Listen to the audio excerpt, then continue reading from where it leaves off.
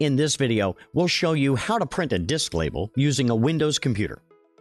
Please follow these procedures. We'll be using Easy Photo Print Editor, which allows you to create and print our disk labels easily. You can also use Easy Photo Print Editor to create images for printing on disk labels. Once your image is created, you're ready to print the disk label.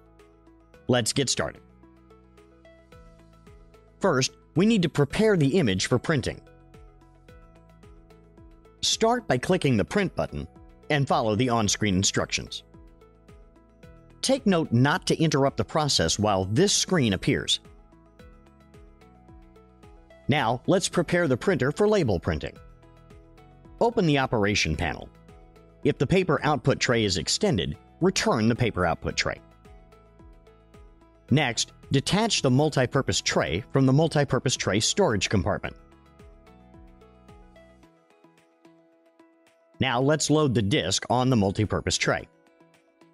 Press the lower part of the printable disk against the lock.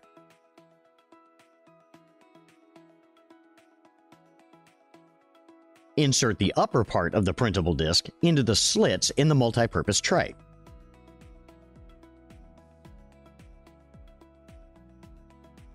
Take note that the disk printing will be performed in this orientation. Now, let's load the multi-purpose tray. Push in the multi-purpose tray until these arrows align with each other.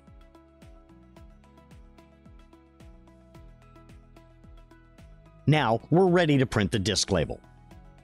Check that this screen appears, then tap OK. The disk label will be printed. This may take a few minutes.